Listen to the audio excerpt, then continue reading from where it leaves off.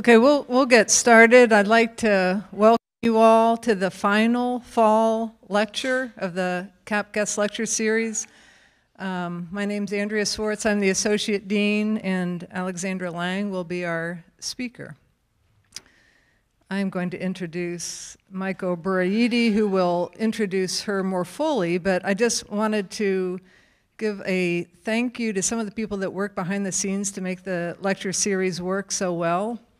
And that's Christine Ryan, who I don't see right now, but you, yeah, there she is. Uh, I would say round of applause for Christine. Um, and also Malcolm Cairns, who will kill me later for mentioning his name, but thank you both. I also, last thank you is to University Media Services. These people are wizards, and they are, thank you for all that you do to make it a success.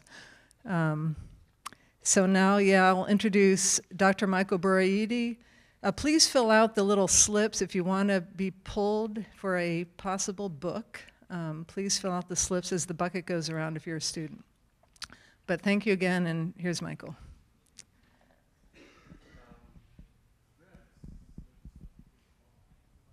Did everyone do this? Everyone, yes? Anyone want it to put there? It's not a lot of names in there. Only criteria is studenthood.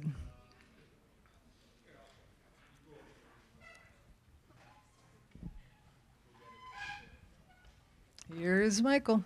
All right, thank you.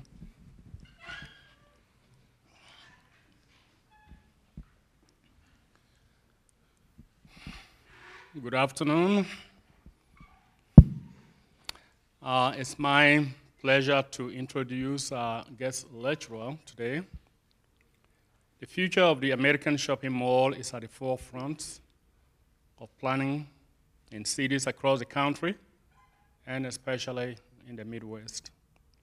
Today's guest uh, lecturer wrote what I will deem the Bible on the topic of how the mall became what we know it to be today.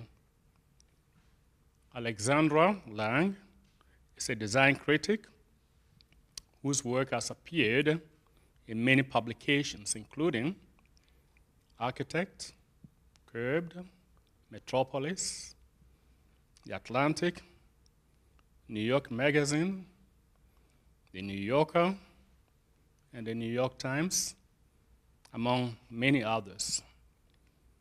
She is a columnist for Bloomberg City Lab, and her latest book, Meet Me by the Fountain. An inside history of the mall was published by Bloomsbury, USA, this past summer. Please join me in welcoming Alexandra Lange to CAP and to Ball State.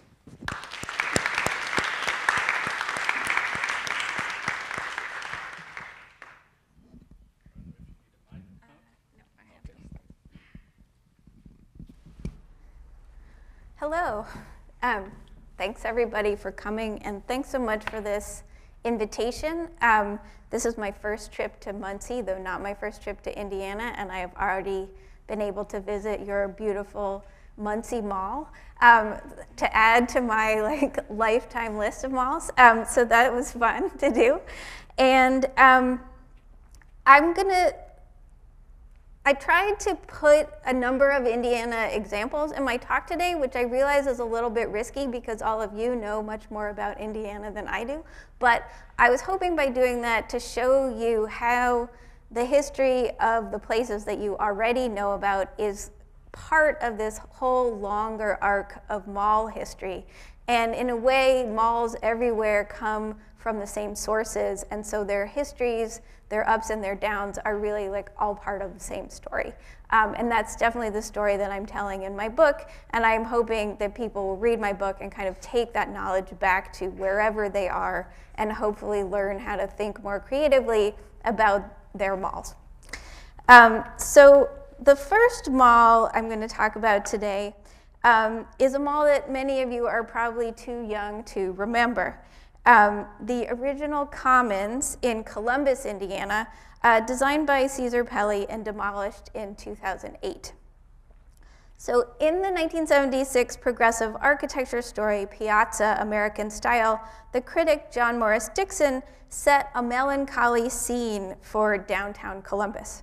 From its seedy downtown to its highway commercial strips, Columbus looked all too much like any Midwestern town of about 30,000. But Columbus, Indiana, as I'm sure some of you know, was and is not just any Midwestern town. Starting in 1954, the Cummins Foundation, underwritten by the town's largest employer and visionary chairman and CEO, J. Irwin Miller, offered to pay the architectural fees for new public buildings if their designers were chosen from a list of distinguished national practices. The results were a post-war building boom in superlative modern architecture, from schools to fire stations to the post office and the city hall. Eero Saarinen, a close friend of Miller's, designed two churches, a bank, and two houses for the Miller family, and advised on the initial list of architects for public commissions. When it seemed like Washington Street, which was the town's main retail strip, was in danger of turning into a seedy downtown due to the competition from the newly built suburban malls, Miller's Irwin Management Company stepped in with an architectural solution.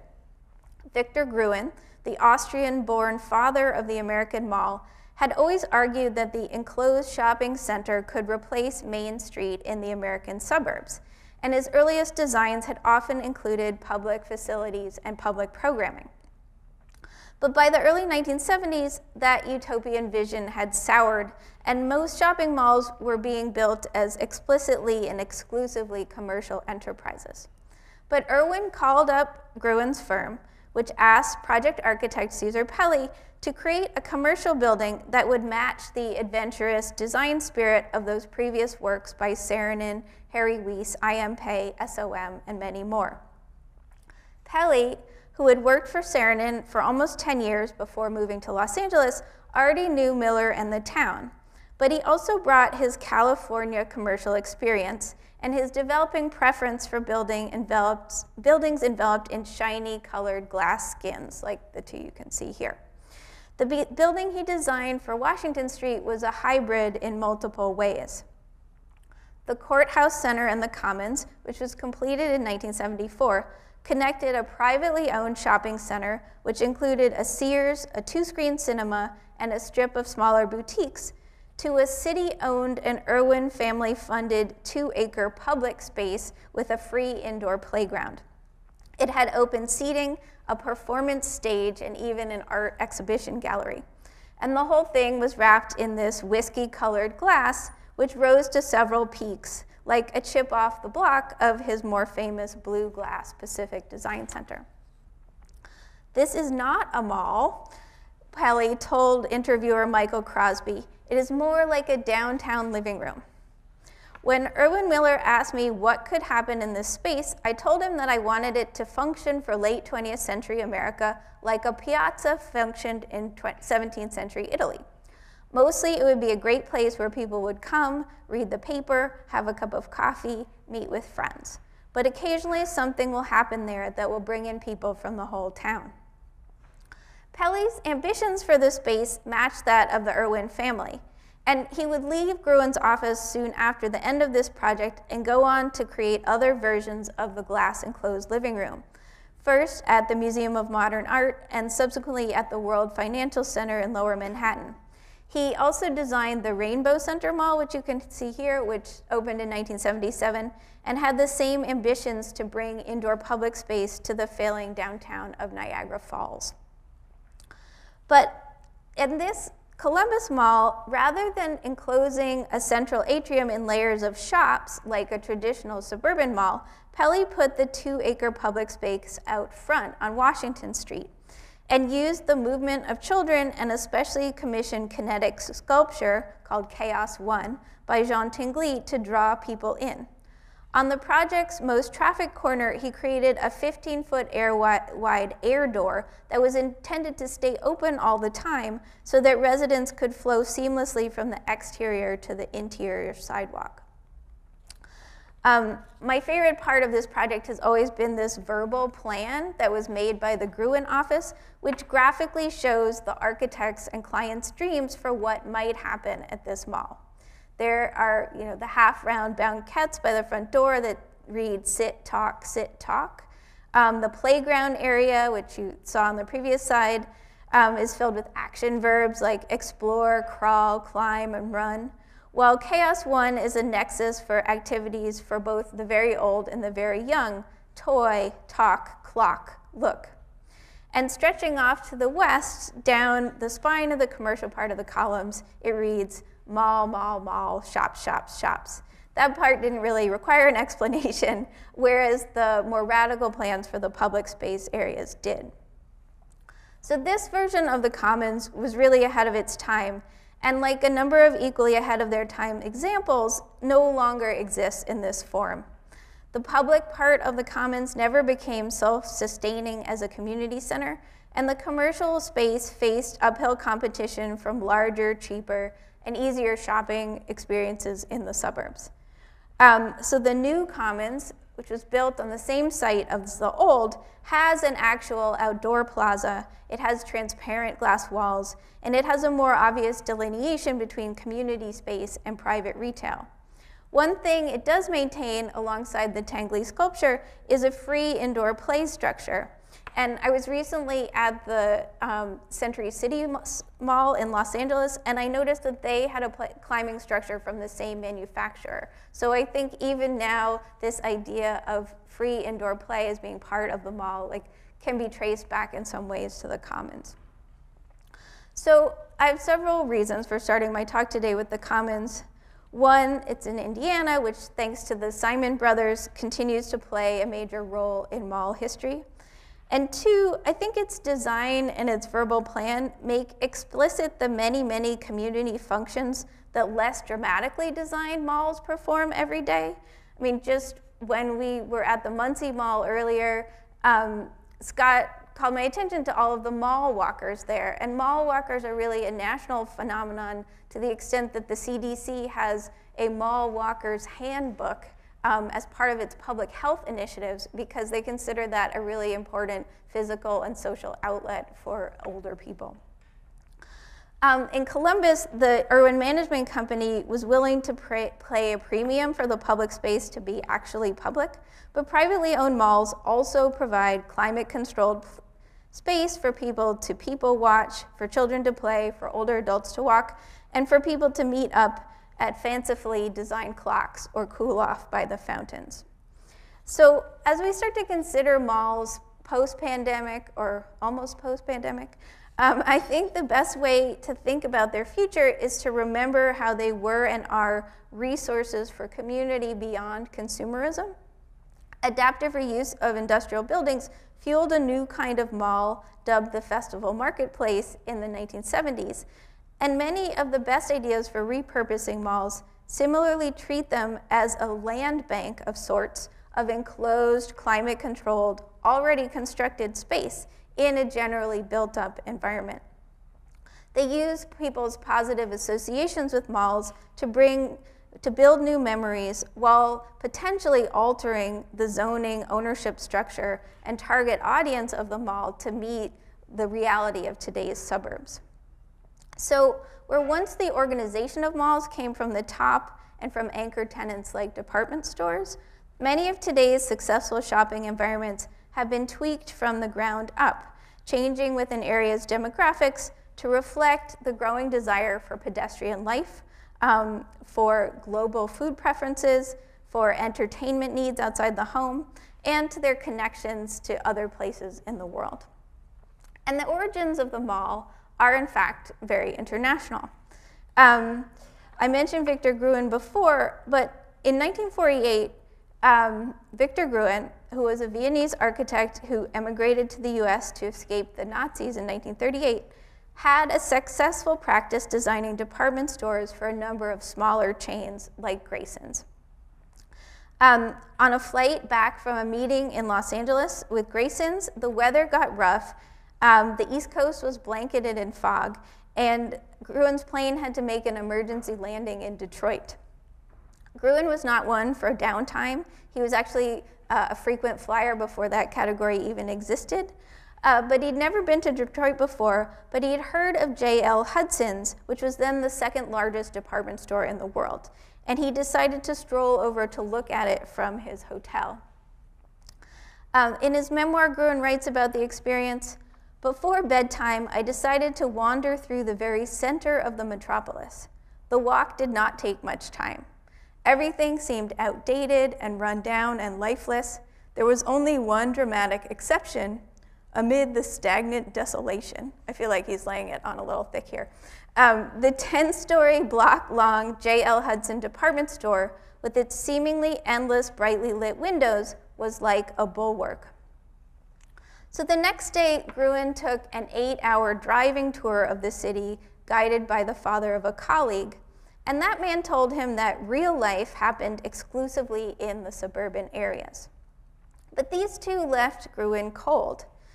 Um, he wrote later that the main roads circulating between the suburbs were also a patchwork a garishly advertised parade of filling stations, hot dog stands, department stores, snack bars, liquor stores, supermarkets, chain stores, used car lots, and funeral parlors, which is really a suburban road landscape that we're all still familiar with.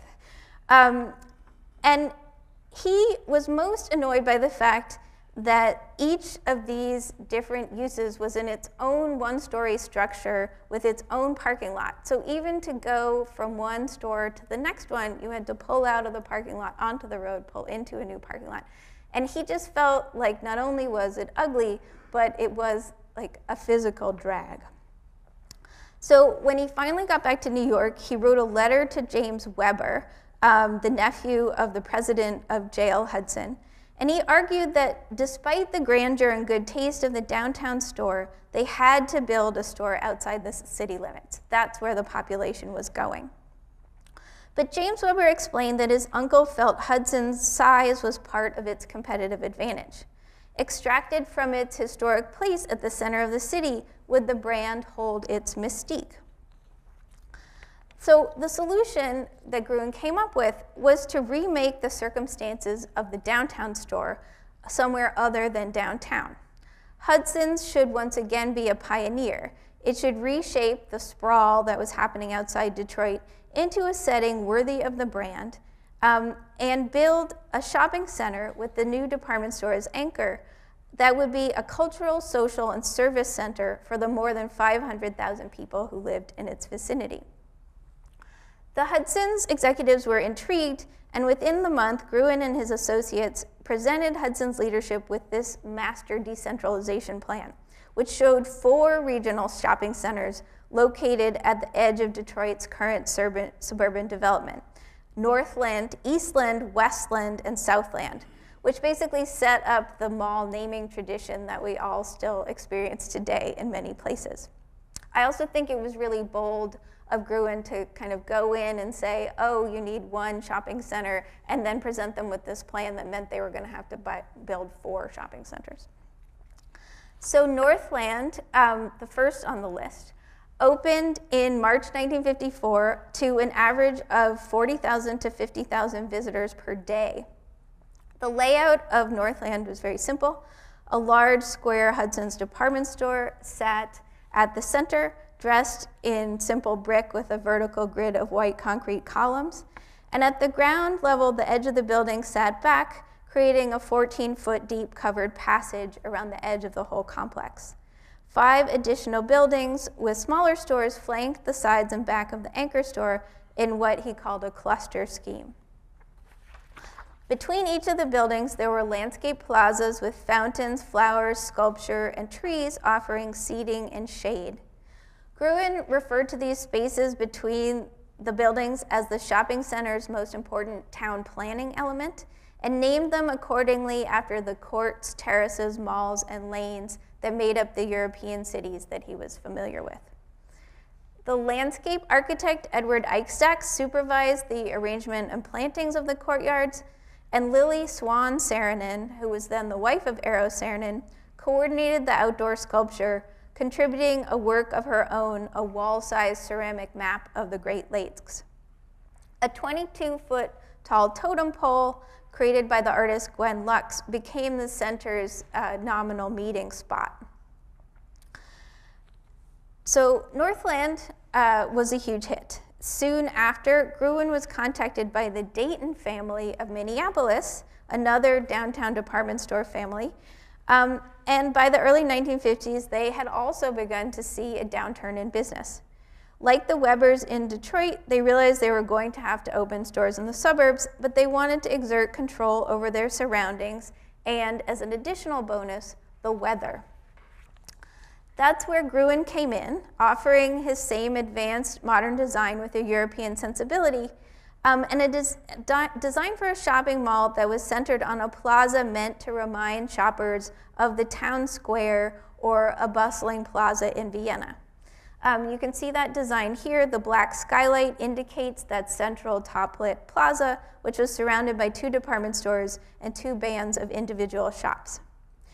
Um, this mall, however, was an improvement on the shopping center idea of Northland um, because Southdale in Edina was, became the country's first indoor shopping mall. The, all of the advertisements leading up to its opening um, boasted that it would offer 365 shopping days a year in a climate, uh, in a state known for high humidity in the summer and lots of snow in the winter.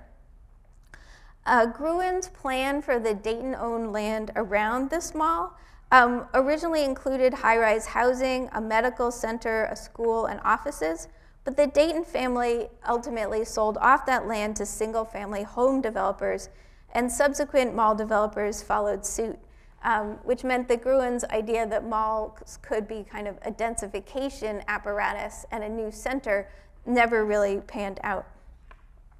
The central open space uh, at Southdale was called the Garden of Perpetual Spring, underlining that balmy weather always indoors.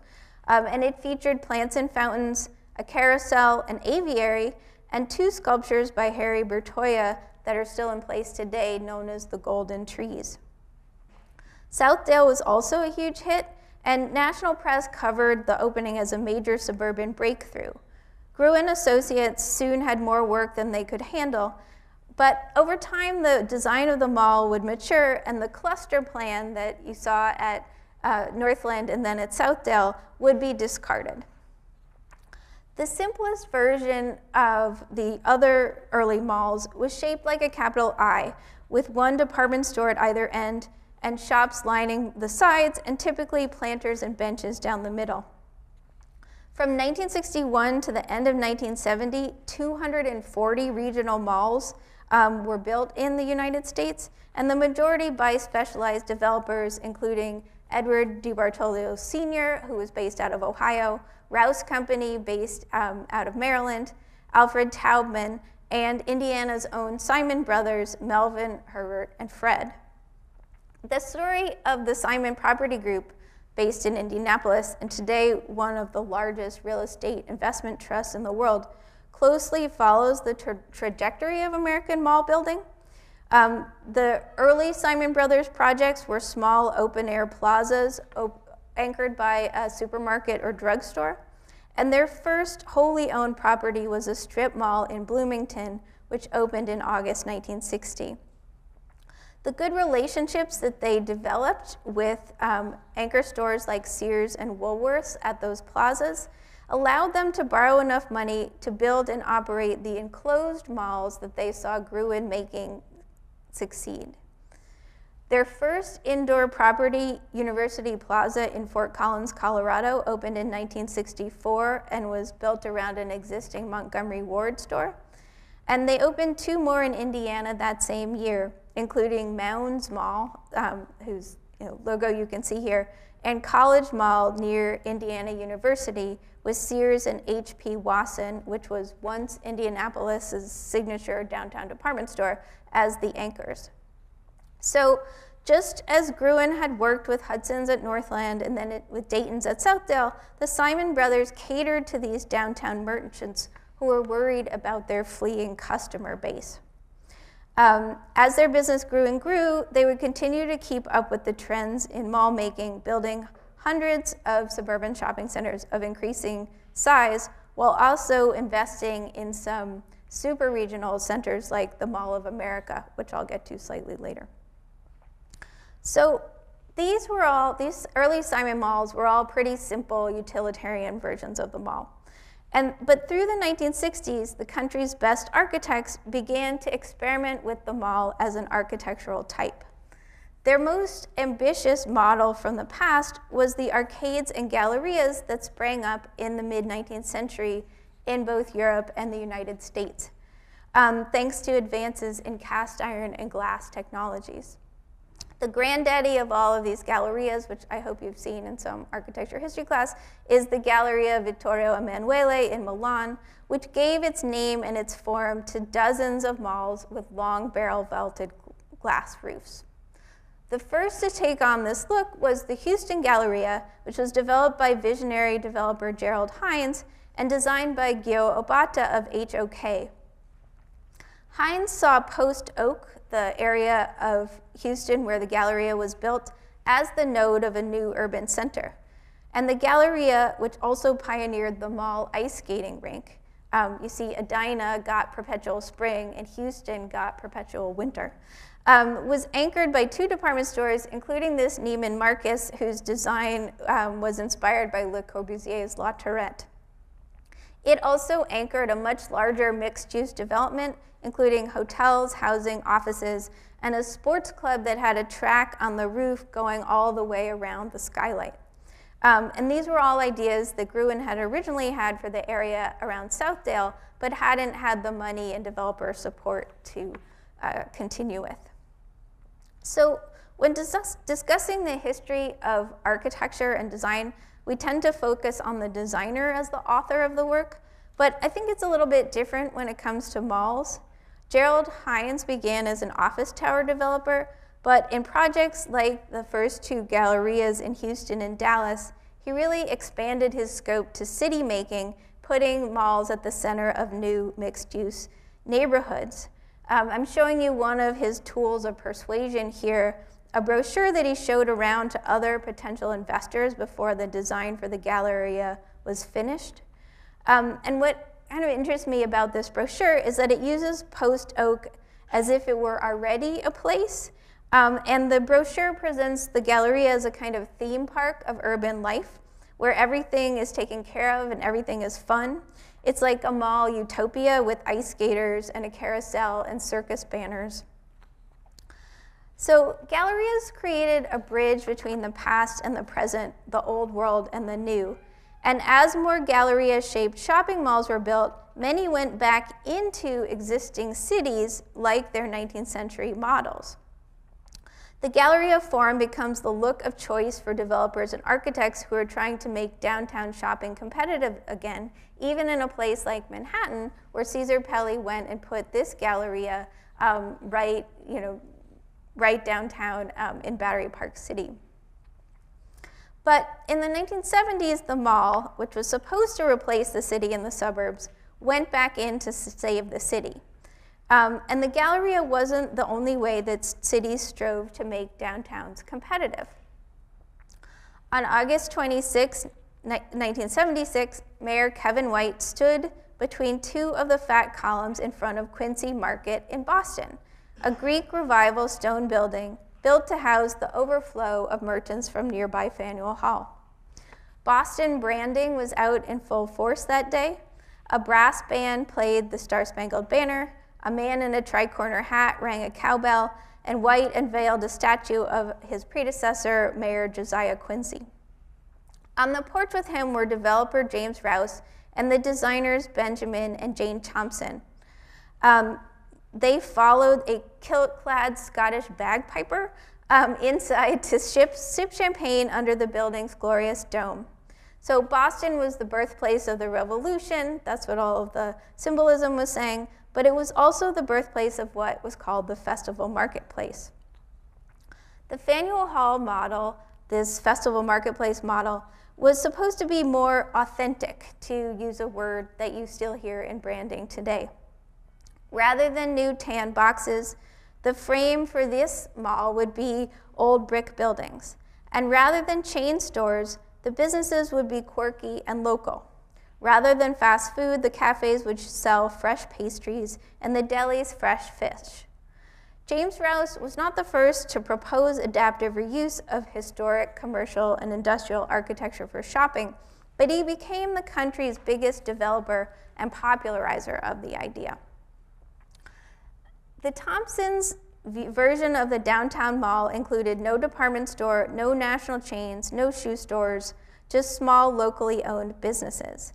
And Rouse compared it to the open air farmers market on Olvera Street in Los Angeles, while Ben Thompson brought up Ghirardelli Square in San Francisco, which had been completed about 10 years earlier. Um, Ghirardelli Square was brick warehouses refitted as a complex of shops and offices. Um, and Thompson really believed that the novelty of this kind of marketplace would create its own drawing power. And beyond that, the city itself um, was a power um, and provided the anchor that the department stores would, would not. So despite a lot of kind of negative talk around the idea of a successful opening downtown, 100,000 people visited Faneuil Hall and Quincy Market on opening day, and more came to it in its first year than visited Disneyland in 1977. Half of the visitors were from Boston, a quarter were from the suburbs, and a quarter were tourists quickly doubling the per square foot results that Rouse expected. The opening of Faneuil Hall and Quincy Market was treated as a game changer for cities. Finally, someone had come up with a, um, a solution for what ailed downtown. Surely every city had a brick warehouse, many had more than one, that with added globe lights and exposed beams and cheese counters and cafe tables could become a hub of activities after offices closed. So Rouse and the Thompsons teamed up twice more, first to build Harborplace on the Baltimore waterfront, and then South Street Seaport in Manhattan. And as you see here, Rouse made the cover of Time magazine in 1981 with the headline, Cities Are Fun. Um, 100 new downtown retail centers opened between 1970 and 1988, with the city as co-investor in three quarters of those projects. So festival marketplaces accounted for um, only about 30% of those, but they got the most press and required the most artistic hand, both in the selection of buildings for adaptive reuse and then in the careful curation of the stores within. In Indiana, those trends, the festival marketplace, the downtown mall, the new Main Street, were reflected in a couple of different ways.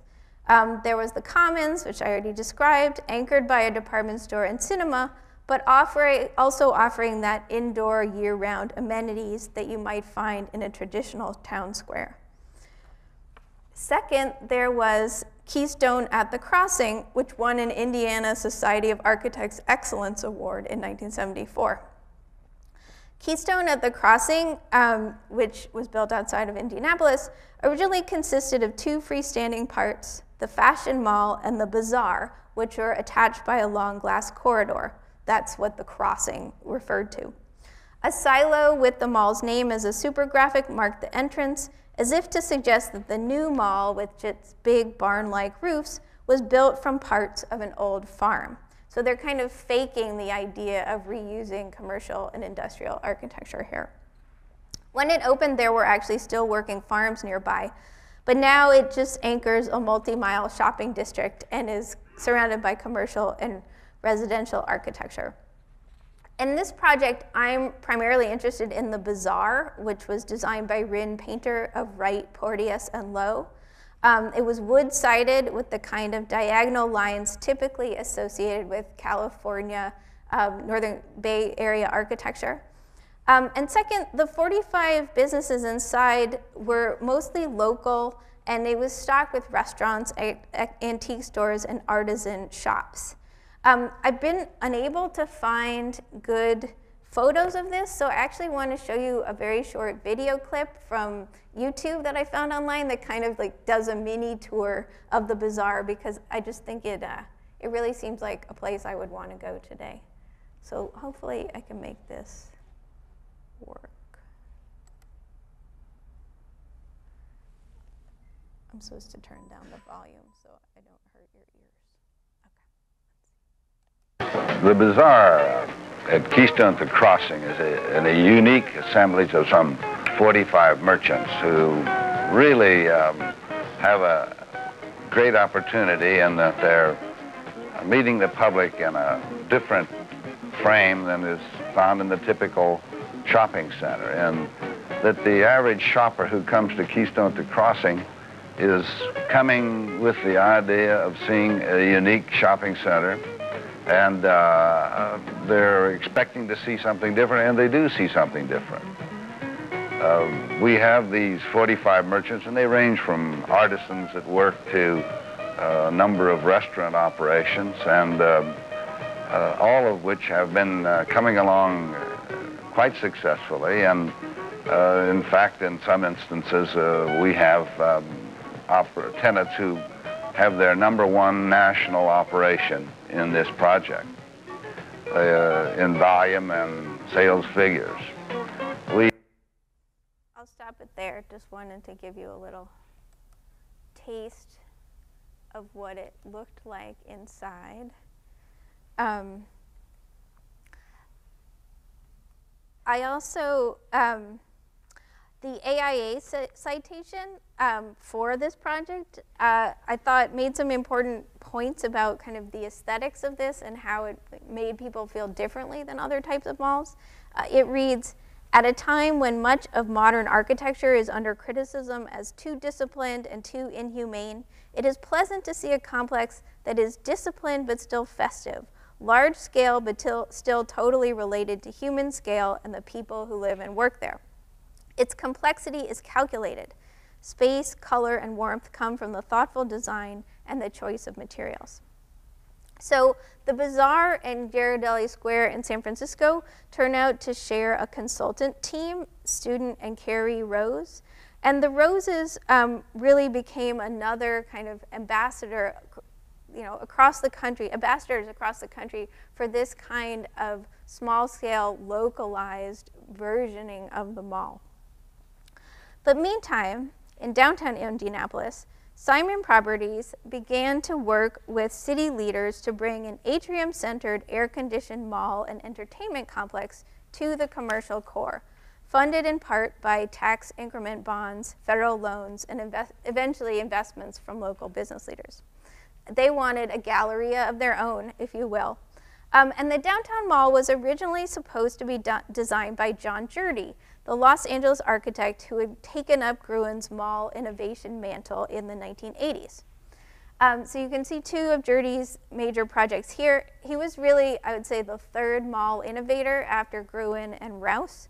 Um, in the early 1980s, his firm changed the primary driver of the mall from shopping to entertainment, making it much bigger, making it mixed use, and adding themed elements more like Epcot than Disneyland's Main Street. His first attempt to do this was at Horton Plaza in San Diego, an indoor out outdoor mall that was built in that city's historic downtown and designed to resemble a Hollywood version of an Italian hill town, with striped palazzo-like buildings like Siena and lots and lots of level changes. Although it was originally supposed to be enclosed, developer Albert Hahn saved money by removing the roof of the mall, which also saved Horton Plaza from becoming a kind of drive-in, drive-out complex. Reading descriptions of how the project now known as Circle Centre Mall came about, I can understand why Indianapolis leaders would have been interested in Horton Plaza. As in San Diego, they wanted to insert something new into downtown, to provide an, both an aesthetic and commercial shock to its system without completely wiping out the existing commercial architecture. The long delays and cost overruns for the Indianapolis project eventually led to Jerde's departure, um, and Ehrenkrantz and Eckstut were the architects for the mall, which opened in 1995. I, I can't help but be a little bit curious about what Jerde might have produced for Indianapolis. Um, but Circle Centre still like shares a lot of DNA with the Jerde projects. Um, it has the indoor air-conditioned square footage and amenities of a suburban mall, the curving glass roof of a galleria, and the veneer of historic preservation in the form of 17 preserved buildings and eight historic facades.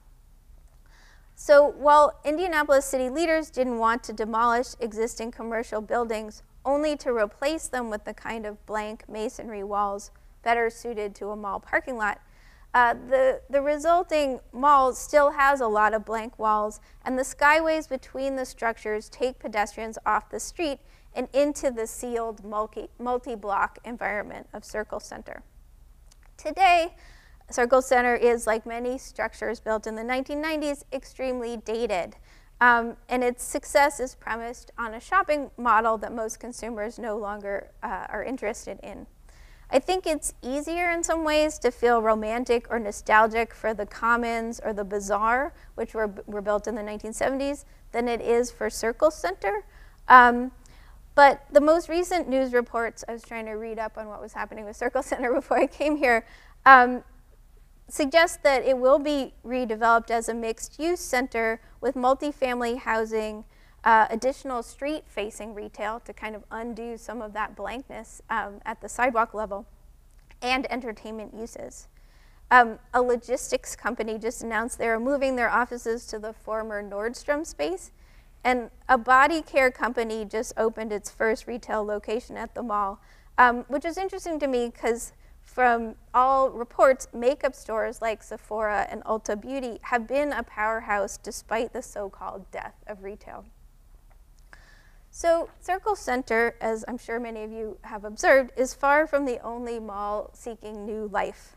Um, I've read widely, wildly varied estimates about how many malls are going to live and how many are going to die over the next five years, but regardless, there are hundreds in both categories. Each of them an opportunity, I think, to right some of the wrongs of 20th century urbanism. During the pandemic, emptied out uh, department stores have been pressed into service as testing sites, vaccination halls, and food distribution hubs. The ease with which the stores were pressed into service underlines some of their continuing strengths. They have central locations in both cities and suburbs. They have generous indoor square footage, all climate controlled. And they've also been designed to be uh, quite accessible, at least by car. Um, in terms of more ambitious mall redevelopment projects, I really like um, Austin Community College's Highland campus um, as a mixed use solution. Um, on that campus, Barnes Gromatzky Kosar Architects converted the concrete windowless uh, 200,000 square foot former, former JCPenney building into a student center and tech hub, cutting a 170 foot long skylight into the roof and creating indoor pathways with glass fronted rooms in the former boutiques and a big open plan computer lab with 600 workstations. Apartment buildings have been built on the former parking lots, and the Dillards, uh, which was at the other end of the mall, recently reopened as a studio, auditorium, and offices for the local PBS station. A light rail station links the whole complex to Austin's downtown, and according to the college's chancellor, students' positive associations with the mall helps them to feel comfortable on campus. Um, the college even saved a giant fiberglass hot dog from the original food court, which has become a popular photo op. Um, so this is sort of a top-down version of adaptive reuse. The college partnered with developers and then eventually with the PBS station to redevelop the whole site over a period of about 10 years. But a lot of other adaptive reuse of malls have come from bottom-up changes. Local developers noting the increasing diversity of the suburbs and tweaking existing malls, um, and many of these redevelopments center around food. June Williamson and Ellen Dunham Jones' book, Retrofitting Suburbia, um, highlights one of these developers, Jose de Jesus Legaspi, um, who's a Los Angeles based consultant and who now has an almost 20 year career retrofitting dying malls for um, Latin and Caribbean entrepreneurs and customers. His largest project is this one, La Grande Plaza in Fort Worth, um, on the site of the former Seminary South Shopping Center, which was built in 1962. Um, Dunham Jones and Williamson write of Legaspi projects that they typically incorporate a space refitted as a mercado, filled with small booths and shops for Hispanic vendors selling goods and services. um, a signage and print shop, a tailor, party supplies, t shirts, real estate, and travel agents, such as one would find in a town or village market in Mexico or Guatemala. A friend of mine just recently went to a Legaspi mall outside Atlanta and said that there was a mariachi band playing in the middle, and she bought um, some trinkets for her cousin who was about to celebrate her quinceañera. And she, somebody who's traveled extensively in Latin America, and she was like, yeah, it felt exactly like the markets in Latin America. Um, so projects like Essex Market in Lower Manhattan, which opened in 2019, might look a little bit different in materials from places like La Grande Plaza, but it's based on the same idea um, as Legaspi was using there, and that in fact Rouse and the Thompsons brought to cities in the 1970s taking the local and historical and putting it into a more designed, more centralized, and easier to use context.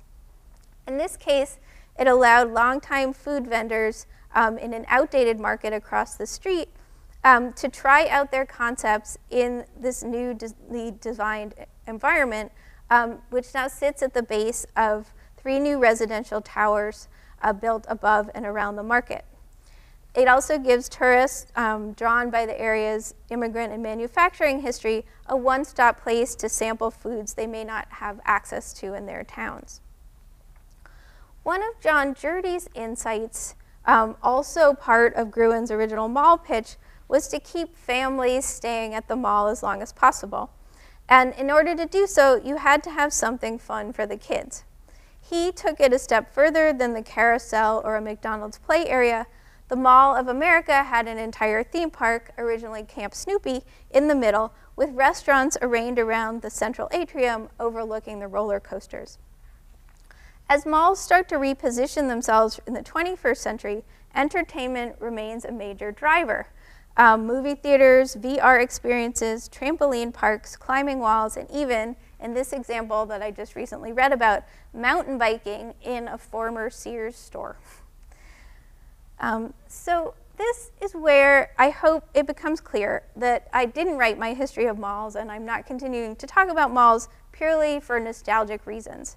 Um, I really want everyone to take on the knowledge about how malls are and were well designed, how they've already changed a lot with the times, and how they've acted as important community spaces.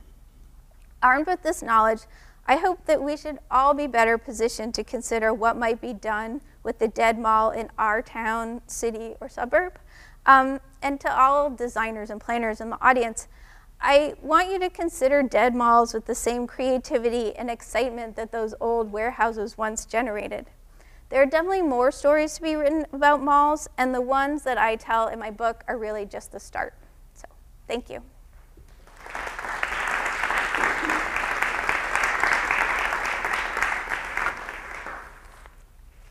I'm happy to take questions if people have them. Or were you going to do the yeah, drawing? Okay. Do a drawing first. Okay. And then um, we could do the drawing after the Q&A. After the Q&A. Okay. All right. Let's see. If there are any questions? I have the mic here.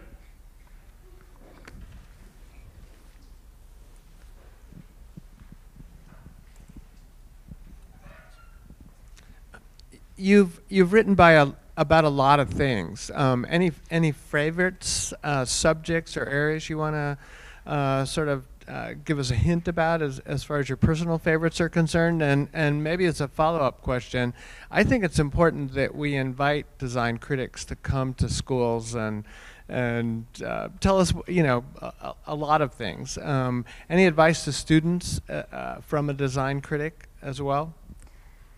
Um, let me think. Uh, so first of all, what's my favorite topic? Well, I think my favorite topic is really, well, kind of more the subject of my last book, which is called The Design of Childhood, um, and it's design for children. But what I found in researching this book is that there's a lot about children by and for children in the mall. Um, I have a whole section in my book that I didn't really get into today about how teenagers have used and loved the mall and how it's so hard to find spaces designed for teenagers. And the fact that teenagers adopted the mall has been a really important outlet for them over time.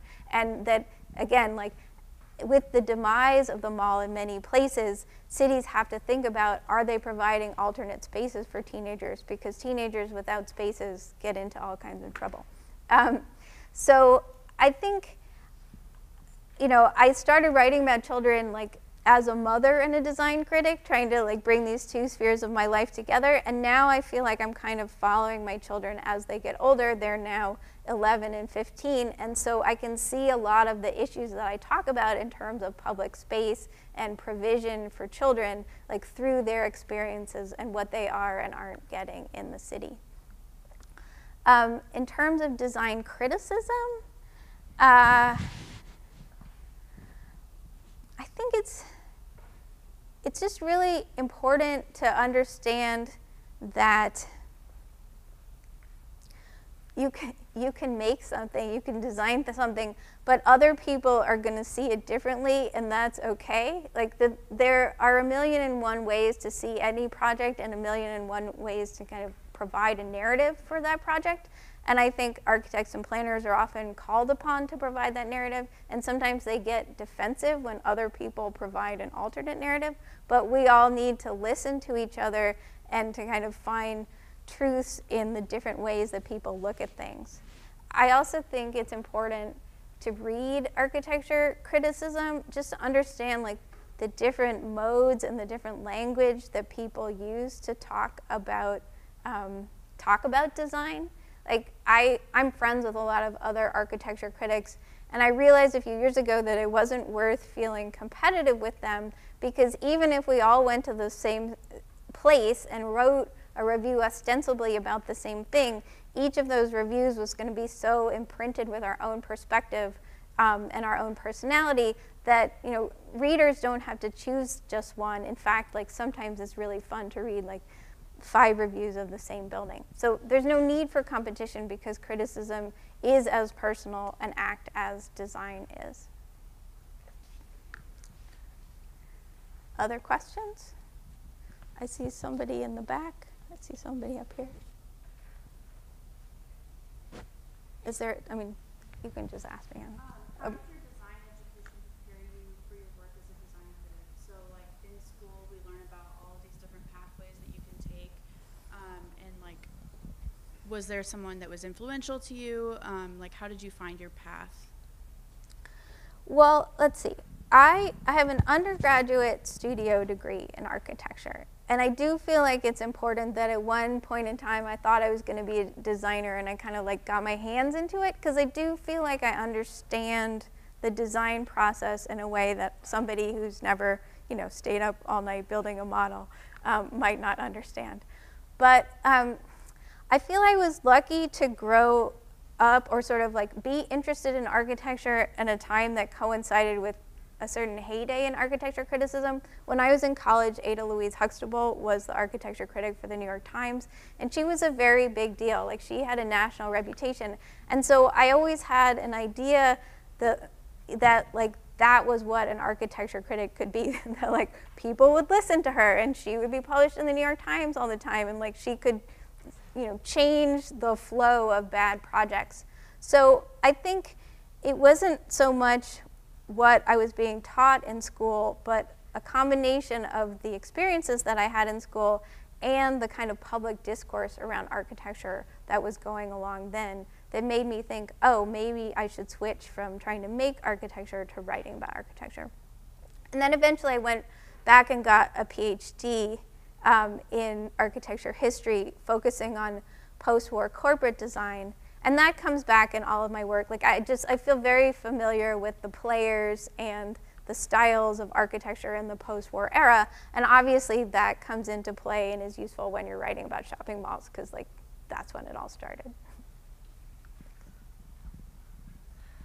Um, so you talked a little bit about zoning land ownership, and uh, I'm an urban planning student. So, um, could you talk a little bit more about the barriers that I guess society faces in adaptive reuse or reusing malls, and how we can overcome those barriers or tips to overcome them? Sure. I don't know about tips because these are like these are like the thorny issues of planning, really. Um, I mean, the major barrier is that part of the whole point of suburbs was single-use zoning. Like the powers that be at that time thought that they wanted to have houses over here and shopping over here and roads over here and kind of like never the twain should meet. And I read a lot of, um, you know, shopping mall manuals from the 50s and 60s and they all talk about planting a high hedge behind your mall so the neighbors next door like aren't annoyed by your parking lot. And like in this day and age, I think a lot of us would much rather be able to walk from our house to the mall rather than having to get in our car and drive all the way around. But that's not the way that the zoning is set up. So, I mean, the first thing that a municipality that wants to redevelop its mall as a mixed use place to you know add housing, add offices, et cetera, they're going to have to likely change the zoning for the site. Um, but I don't think that's impossible. Uh, just one example, in New Jersey, the state legislator legislature is considering basically a five-year like zoning moratorium on both mall and office park sites. Basically saying like for these five years post-pandemic and in order to help with recovery, like you can propose any use for these sites. You don't have to stick to the underlying zoning. And I think that kind of legislation could really do a lot of good in other places too. Thank you. Other questions?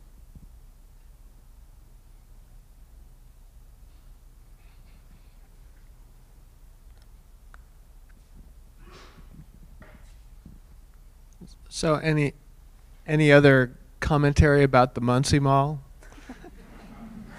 well, I mean, again, I you know I tried to do a little reading before I came here, and I really um, I love the idea that you had a studio in the mall. Like I actually think, you know, I used the example in my talk of Austin Community College, um, you know, taking over the mall and turning the whole thing into the campus.